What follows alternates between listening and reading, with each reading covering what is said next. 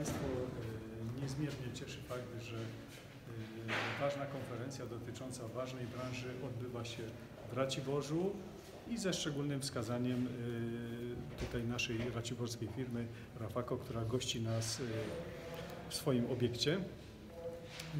Drodzy Państwo, energetyka i górnictwo, branża ważna dla całego kraju, ważna dla naszego regionu w sposób szczególny, y, związana z bardzo dużą ilością pracowników, którzy pracują bezpośrednio w tej branży, ale także y, w firmach, nazwijmy to około energetycznych, około górniczych. Zmiany w tej branży będą następowały i tego typu konferencja ma służyć temu, aby wypracować y, odpowiednie narzędzia, aby w sposób racjonalny, ale też z korzyścią i dla regionu, i dla państwa zagospodarować ten potencjał, którym dysponujemy. Nie bez przypadku jesteśmy właśnie na terenie Rafako, bo to jest, można powiedzieć, swego rodzaju case, który pokazuje, z jakimi y, wyzwaniami będą musiały się y, podobne do Rafako firmy okołoenergetyczne zmagać y, w najbliższych latach i niewątpliwie zadaniem też państwa, w sensie jako organizmu i pewnej odpowiedzialności polityków jest to, aby odpowiedzieć na te wyzwania i wesprzeć, nazwijmy te, ten nasz potencjał, abyśmy go dobrze wykorzystali i dla regionu, i dla kraju. Mi niezmiernie miło, że Rafako może gościć e, dzisiaj uczestników konferencji. Skorzystaliśmy z e, uprzejmości pana prezydenta, który zdecydował się zaprosić nas e, do, do udziału w dzisiejszej konferencji, która poświęcona jest no, jednemu z najbardziej e, istotnych e, problemów e, w dzisiejszej rzeczywistości gospodarczej Polski, czyli transformacja energetyki i górnictwa, czyli dwa filary naszej gospodarki.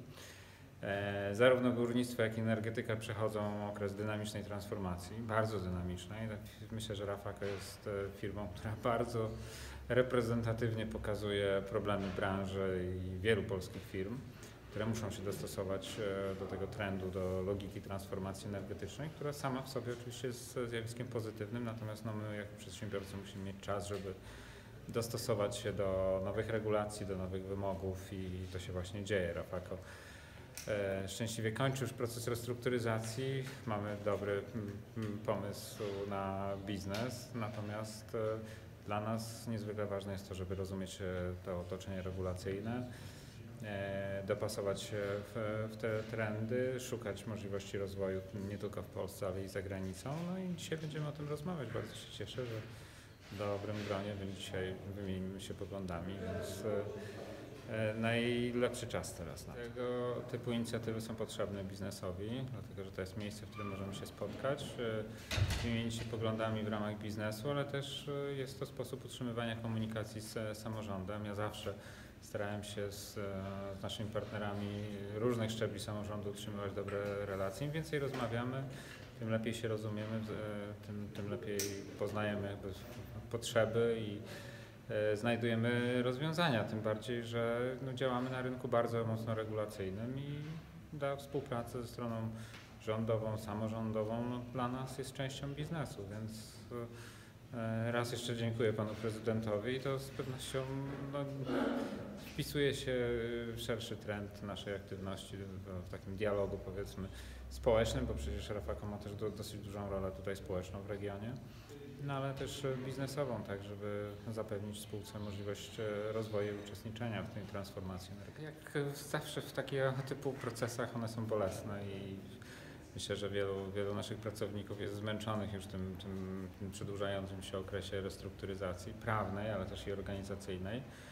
Natomiast no, najlepszą dla nas wiadomością jest to, że ten rynek energetyki jest olbrzymi, czyli Rafako musi się oczywiście zmienić, jeżeli chodzi o pewien model biznesowy.